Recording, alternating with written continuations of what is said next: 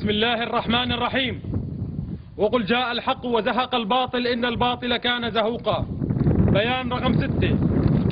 حماة الديار عليكم سلام وتبا وسحقا لهذا النظام. نظام فساد أراق الدماء وقتل شعبا يريد السلام. حماة الديار هم الأحرار وليسوا جنودك يا بشار. منعت الصلاة بجيش الطغاة. قصفت المآذن صار الدمار. نحن لواء أحرار الشمال في حلب نعلن ما يلي. إيمانا منا في واجبنا الديني والوطني في الدفاع عن شعبنا. قامت كتائبنا في ريف حلب الشمالي بالتصدي لكتائب الأسد التي قامت باقتحام عنادان وحريتان وباقي المدن في الريف الشمالي. وقد استطاعت عناصرنا البواسل تكبيد القوات الغازية خسائر فادحة في الأرواح والعتاد.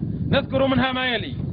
أولا تدمير أربع دبابات وبيك أبان وقتل أكثر من أربعين عنصر في مدخل مدينة عنادان صباح الخميس 5 4 2012 ثانيا قتل خمسين عنصر من كلاب الأسد عند مخفر حليتان في اليوم نفسه. كما قامت كعناصرنا في اليوم الثاني بقتل 17 عنصرا من الأمن بينهم مقدم في أمن الدولة.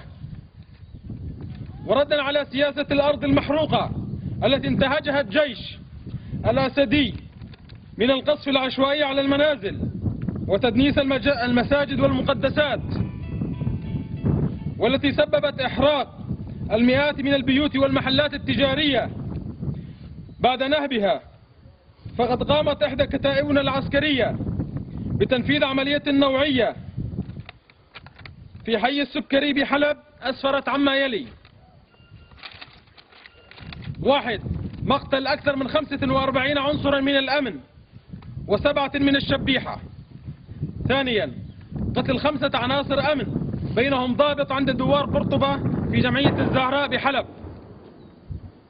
كما أدت العملية البطولية إلى استشهاد اثنين من عناصرنا الشجعان تم خطف جثمان أحدهم.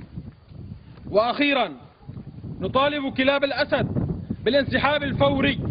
من ريف حلب الشمالي وإطلاق سراح كافة المعتقلين والكف عن الاعتداء على المواطنين العزل. وإلا سيكون ميداننا القادم هو في قلب مدينة حلب. وسنضرب بقبضة من حديد كل من يعتدي على شعبنا الأعزل المنادي بحقه في الحرية والكرامة. بعد أن عانى من بطش هذا النظام لعشرات من السنوات. والله أكبر والعزة للإسلام.